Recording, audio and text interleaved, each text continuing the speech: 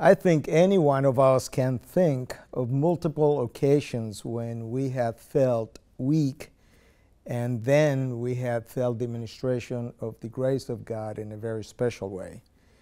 But thinking through the years, um, I came to, uh, last night I was remembering about 15 years ago when my wife uh, became very depressed uh, as the result of a series of circumstances. We have moved uh, from the U.S. to Santo Domingo, and the adjustment process for her as an American doctor, and it was very difficult.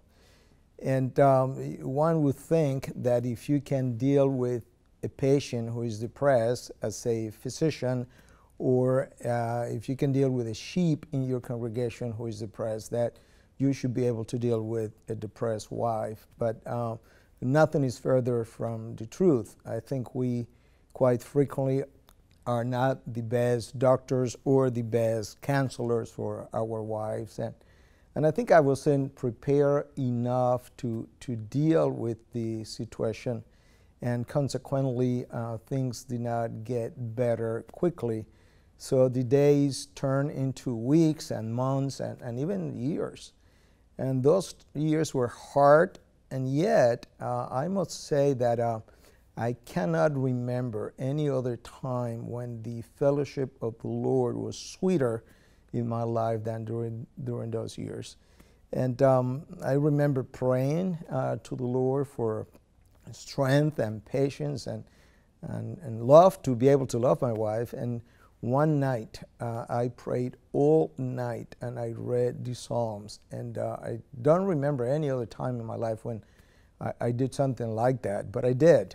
And then by the next morning, um, I wasn't even weak or tired or sleepy. I was just strengthened by what I read. And those words of the Psalms became so real to me, and the experience of the psalmist were so close to my heart that. Uh, sometimes in some ways uh, I was wishing that I would go through something like that again just to be able to experience that sweetness of that fellowship of, of God. And uh, we, uh, we went away for a week and um, two people were able to talk to us and, and pray with us and, and that was enough. We, we came back and um, we began the process of that healing uh, of her depression and also I, I was growing in grace and and learning better how to deal with uh, my wife and have to love her through that process and how to care for her.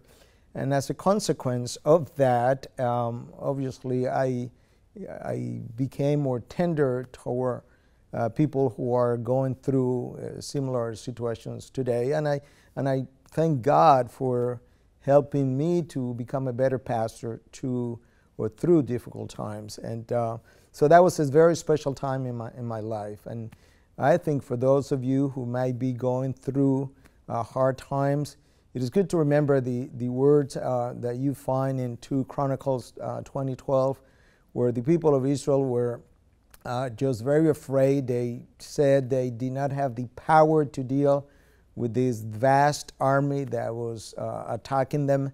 And then they said, um, We don't know what to do but our eyes are on you. So I think when we're going through situations that are hard and difficult to deal with, that is one thing we need to do. We need to go back to the Lord. We need to trust Him. Uh, we need to stop asking questions.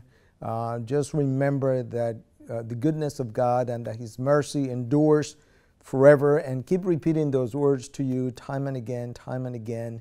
Uh, there might be some issues that you need to confess or repent of maybe um, sinful patterns uh, uh, of behaviors or, or, thinking, patterns of thinking in the wrong way. Uh, whatever that is, just deal with it, and God will visit you uh, again and again with His grace. And keep waiting upon Him until He answers you. And, and that answer may come in the next life. And the only reason why, why I'm saying that is because I'm thinking right now of those people that are mentioned in the book of Hebrews, chapter 11 um, verse 13, we are told there that these people never receive, received the things that they were promised, and yet they saw them from afar, from a distance, and they welcomed them uh, as if they were being received uh, in this side of glory, and uh, they continued to wait upon the Lord. And, and that is one example that we could follow. They, they realized that they were foreigners and strangers on this earth, and we need to think more and more that way and have an eternal orientation as we're going through these difficult times.